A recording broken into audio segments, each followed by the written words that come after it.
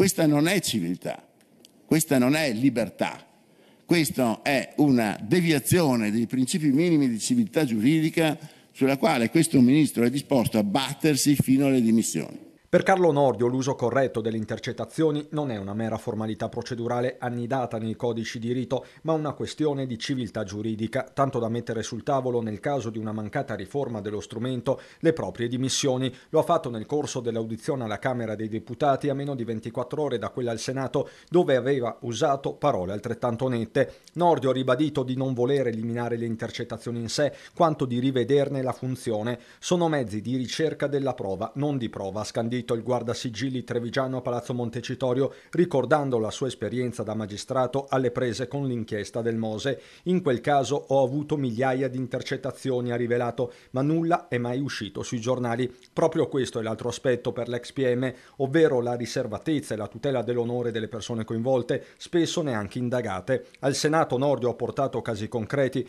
alcuni vissuti in prima persona, anche di colleghi rimasti schiacciati. E vorrei ricordare alla fine mio amico Loris D'Ambrosio D'Ambrosio del mio concorso, magistrato importante, consigliere del Presidente della Repubblica, deceduto forse anche lui di crepacuore perché era stato coinvolto in questa porcheria di diffusione pilotata e arbitraria di intercettazioni. Nessuno ha voluto attaccare i magistrati, ma sono deluso da alcuni di loro. Le parole di Nordio alla Camera, che così ha risposto tra le righe alle critiche mosse dall'Associazione Nazionale Magistrati subito dopo l'audizione a Palazzo Madama, ma la partita sembra solo all'inizio.